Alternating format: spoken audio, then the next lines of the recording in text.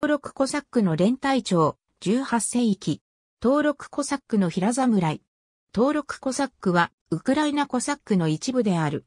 16世紀後半から17世紀にかけて、ポーランド・リトアニア共和国の政府が作成した特別な登録書に登録され、公式に軍役を務めた。コサック運動の拡大を防ぐための装置として編成され、共和国の貴族に並ぶ特権を有した。1648年後にコサック国家に移り、18世紀末までに当国の貴族階級であり続けた。コサック国家の滅亡の後、ロシア帝国の貴族となった。登録州とも呼ばれる。初めての登録コサックは、1572年6月に、ポーランド・リトアニア共和国の王ジグムント2世の命令により、300人のコサックから編成された重兵の将軍団であった。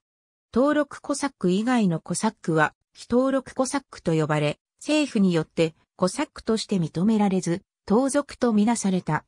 登録コサック軍団の正式名は、ザポロージャに住む、非登録コサック軍と同様に、ザポロージャのコサック軍であった。軍団の任務は、モスクワ対抗国とクリミア反国との境界線の防衛と、ウクライナにおける反乱の鎮圧であった。軍団は登録コサックの軍長によって統括され、最初の軍長は貴族のヤン・バドウシクイが任命された。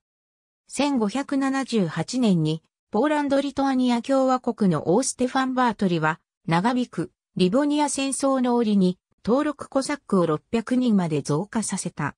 構成員の8割は正教徒のルーシ人の小貴族であった。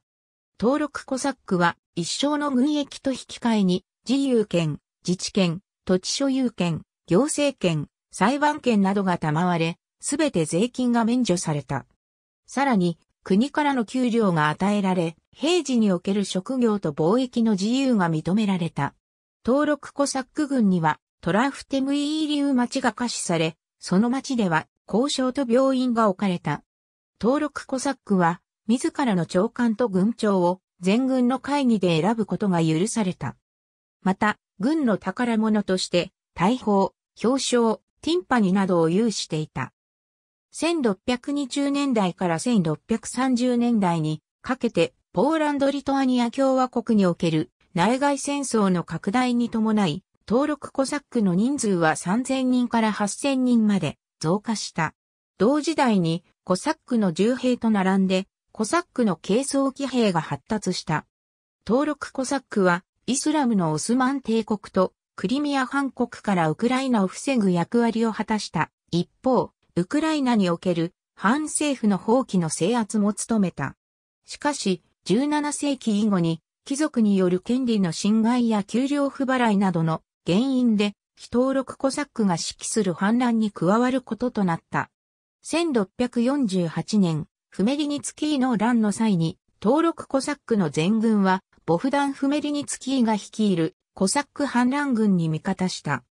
1649年に、ポーランド・リトアニア共和国とコサック反乱者が結んだ、ズボーリュー条約により、登録コサックは4万メートルまで増加された。しかし、その条約が実行しなかったために、フメリニツキーが共和国から独立したコサック国家を立てる政策に乗り出し、登録コサックの多くを共和国側から寝返らせた。17世紀末にポーランド・リトアニア共和国は絶えないコサックの反乱の理由で登録コサックを廃止した。しかし、ウクライナのコサック国家では登録コサックが存続した。彼らが多くウクライナの町村で駐屯していたことから、町内コサックと呼ばれ、シーチに住むシーチコザックと対比された。1735年から町内コサックは選定コサックと呼ばれるようになり、貴族化していった。18世紀末にロシア帝国がコサック国家を滅ぼした後、登録コサックがロシアの貴族権をもらい、階級として消滅した。貧困なコサックはドナウコサックやクバーニコサックなどに合流した。ソ連崩壊後、ロシアをはじめとしてコサック復活の動きが高まる中、ウクライナでも、ウクライナ登録コサック UK 勢が2002年に結成されている。約7万人の会員を要し、200団体以上あると言われるウクライナのコサック組織の中では最大規模である。ギリシャ系ウクライナ人などディアスポラの会員が多いのが特徴である。ありがとうございます。